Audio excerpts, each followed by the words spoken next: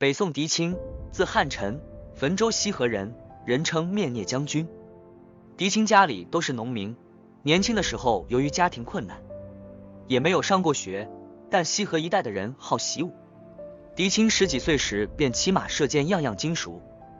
狄青年轻时要过一座桥，可一个名叫蓝阶虎的恶霸却依仗自己身强力壮，武艺高强，不让狄青过去，要狄青和他比试力气。蓝阶虎为了向狄青示威，拿起身边的一把铁锹，一只手用力向坚硬的地面插去。狄青一看，整个大铁锹头被插入土中，深度足有二尺。蓝阶虎得意洋洋地说：“狄青，快点给老子认输，免得找打，到时后悔都来不及。”狄狄青不慌不忙拿起铁锹，对蓝阶虎说：“你看好了。”狄青拿起大头长方形铁锹，往下一插，可了不得了。铁锹头连带几尺长的木把，一下子插入了土中，深度足有四五尺。蓝阶虎看得都傻眼了。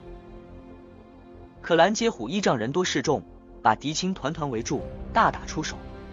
不过狄青三下五除二就把他们打趴下了。可蓝阶虎继续反攻狄青，最后狄青为了众乡亲着想，决定除掉这个拦路恶霸，最后把他打死了。据说当地人重新修了座桥。桥名就叫王撞桥，并把蓝阶虎埋在桥旁，在墓前立有石狮子，以镇蓝阶虎，寓意用石狮镇恶压邪，乡间永享太平。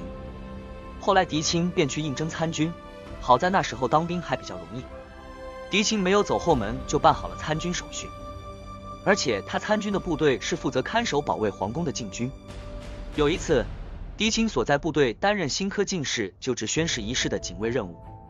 他的一个同事感慨地说：“你看人家多风光，我们干一辈子还是一个当兵的。”宋朝建立后，宋太祖通过杯酒释兵权解除了军队将领的军事指挥权。为了防止军人夺权，历来都是由文官担任高级的军事将领，军人基本没什么政治前途。但狄青的回答却是：“说不定将来我们能走在他们的前头，担任比他们更大的干部呢。”十几年之后。狄青的预言成为了现实。时间不长，银川的李元昊反叛朝廷，建立西夏国。狄青有机会走向了西北延州战场，担任基层军官。在西北边疆的四年，狄青作战勇敢，多次立功受奖。当时宋军经常被西夏军打败，士兵们每次打仗都发怵，狄青则每次充当先锋。每次作战时，他都披散了头发，脸戴铜面具。冲在队伍的最前面，十载前后大小二十五战，众流使者八，出入贼中，皆披靡莫敢当。敌人给他起了一个响亮的名字——敌天使。战斗的磨练使狄青成为了有名的天使猛将。当时的西北军由韩琦、范仲淹主政，二人亲自接见了狄青。二位领导与狄青进行了亲切交谈。韩琦关心地问狄青师承何处。狄青不好意思的回答说：“没有读过什么书。”范仲淹对他说：“作为军中重要将领，不知古今，是匹夫之勇吧，要好好学习。”还送了一套精装版的《左传》给狄青，鼓励狄青学文化。狄青便发奋读书，尤其是通读了历代名将的军事著作和军事论文。狄青受益匪浅，进步很快。有一次，刚刚招募的万圣军没有经过战阵的演习。遇到敌人经常打败仗，一次敌人大举入侵，狄青把万圣军的旗帜交给了另一支王牌部队，让他们出战。敌人望见这种旗帜，认为容易对付，全军径直冲过来，结果惨败。用书上的话说叫“殆无一类”，就是基本没剩下什么人了。另一次，无奈之下需要以少数兵力对付许多敌人，怎么办呢？狄青事先告诫全军都放下弓箭。一律使用短兵器，传令全军听到第一次锣声就停止前进，听到第二声就撤退。冲锋号一吹，就高喊着冲向敌人。战斗开始了，还没有接火，锣声响了，士兵们都停止前进。接着锣声又响了，又都撤退。敌人大笑起来，谁说狄青是天使猛将？没想到此时冲锋号吹响了，士兵们一下子冲向敌人，敌兵大乱。互相践踏致死的数都数不过来。历经十余年的时间，狄青从普通士兵一步步成为了枢密副使。比岳飞早多了，是大宋朝开国以来从士兵出身的第一人。宋仁宗也听说了狄青的先进事迹，非常感动，很想接见狄青一下。